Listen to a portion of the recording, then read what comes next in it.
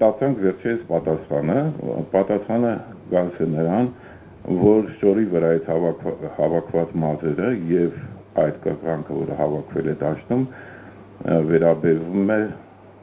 սովորական լուսանին։ Չգիտեմ Կովկասյանը զառույցներ ինչ, բայց հովաս։ Տեղել է մի քանի վարկյան, այդ մի քանի վարկյանը հասել են որ նկատեմ ինչ կենտրոնի ազգամ իրա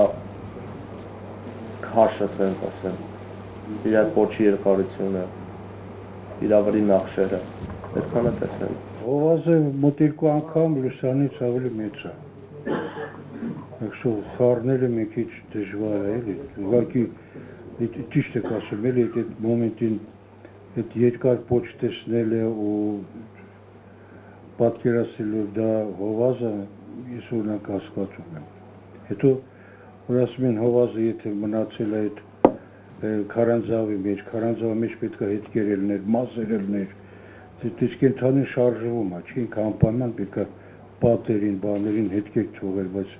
չկային ոչ հովազի հետքեր կային, ոչ էլ հովազի մազեր կային այդ քարանձավում։